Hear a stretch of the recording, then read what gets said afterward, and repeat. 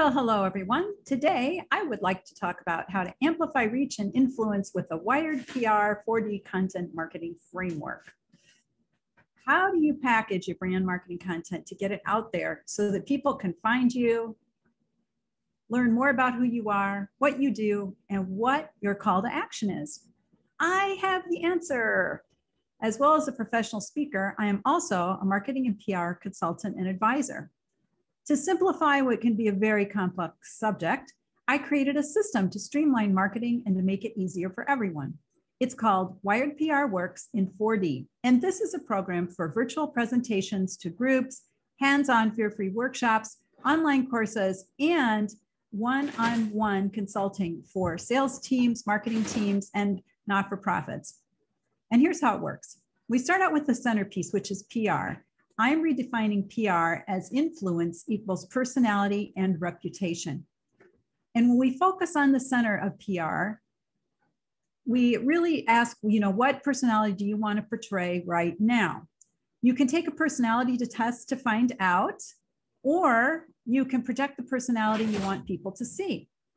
Keep in mind that your reputation is always available for people to comment on online. So you may think you have one reputation and other people might see a completely different reputation than one you think you have. It's really important to have those aligned.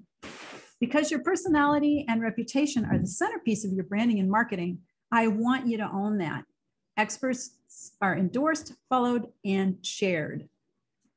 So once you have your personality and reputation dialed in, then we want to talk about the wired content marketing framework.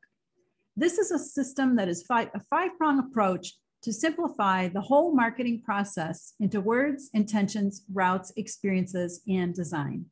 So let's start with words. And I actually started out as a writer. That's the first thing I did with my business as a consultant. I was a marketing communications writer. I love words, and words are very powerful. What I would like you to do is to have a collection of words, everything from a tagline for your business to keywords that you use for search, hashtags for social, along with content for articles, posts, and presentation. So start collecting and curating your words. As a professional writer, one of my favorite words is perennial. I also love flowers, and so I love that word perennial. Because I love gardening, I managed to slide the word perennial into lots of projects. So think about what words do you love and what words would you like to use more often? The next part is intentions. And an intention is a feeling around getting to a destination. It's the way you approach a journey. Yes, you have goals. What do you want to feel like on your way to get there? Intention means to stretch and grow. As you set your intentions, ask yourself, why am I doing this? What feels good about it? Set your intentions before every move you make everything from sending a text and an email to stepping on the stage. Now, what do you want to get out of this experience? What do you want people to get out of it? For example, my intention here is to create an audio podcast for you, and I want to have fun, and I want you to learn how to streamline your marketing. So that was my intention. The next part is routes. Choosing where to best spend your marketing time and money is important and it's difficult. There's so many different ways to invest time and money today. But it's not difficult if you have a map that shows you the most direct routes. Google Maps gives you turn by turn directions on how to get from point A to point B. You could walk, you can take public transportation, or you can drive with or without traffic and highways. You can even see where traffic is congested. What I want you to choose is the fastest, fastest route that leads directly to where people are with no stops. The first step is choosing your target group. The next is aligning your marketing with the best channels.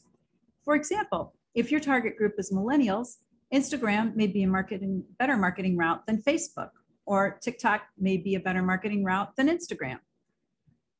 You can have more than one route or channel, and you should, but don't overdo. Stick with the top two or three channels your perfect customers are tuned into. If you have no clients or prospects interacting with you on a channel, don't even go in that direction. For example, maybe you love Instagram, but all your clients are B2B. So have fun on Instagram as like your personal channel and make all your business happen where it belongs on LinkedIn. Only travel the routes that take you directly to where your most profitable clients would be, the ones who would most need to have you solve their problems. Experiences are the next piece. In marketing, we talk about the buyer or customer experience journey. It's everything from how people find out about you to how they research you to what it's like when you start working together to get referrals. What is it like to work with you? How would you describe your customer experience? The best way to convey your customer experience is via storytelling. And my storytelling method is called CPR, which is challenge, process, results. For those of you who like to start with the end goal, you can even flip it over to result, process, challenge. Build a collection of CPR stories around experiences that feature the hero, which is your client, not you.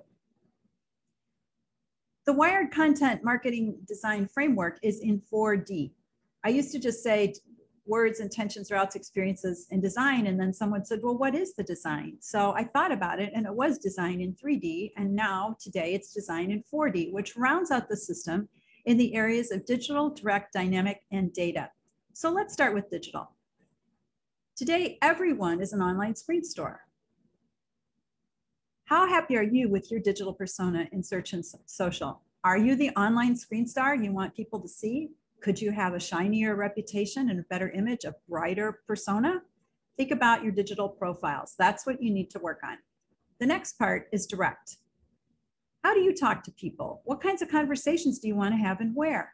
Plan your communications out ahead of time around how do you want to relate to people and where you want the conversation to go.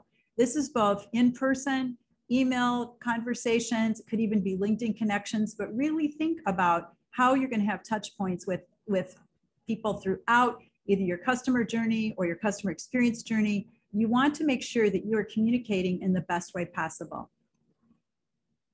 Let's move on to dynamic, or what is the fizz in your pop? What makes you unique and different?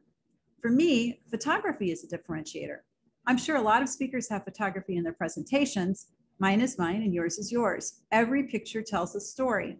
And if you have another type of interest that makes you unique, bring it forward. You don't have to make it the only thing about you, but it does add a different dimension that people can see and they can get related to you beyond just straight business. So really having some dynamic aspects and angles in your personality and your, your communications can elevate you beyond the competition and really make you stand out as someone who's interesting Something simple you can do is do a video. Videos really get great return, especially on Instagram if you're using Instagram as one of your channels. If you record a reel, which is only 15 seconds, you can get a lot of views. I, I had one that after only seven hours had 1,800 views and it's only 15 seconds. So think about what you can do to really come alive. Last but not least is data. How are you going to measure your success? One way is to track where your leads are coming from. You can measure ROI by looking at the time or money invested divided by the results or sales. Keep in mind that what may seem like a big investment in time can pay off in visibility and leadership stance. So now you know how to increase your influence and go from being invisible to invincible with the wired PR and 4D system. Words, intentions, routes, experiences, and 4D design digital, direct, dynamic, and data around your signature identity, your personality, and reputation. Thanks for joining me on this episode of Growing Social Now. Please remember to like and subscribe wherever you listen to podcasts.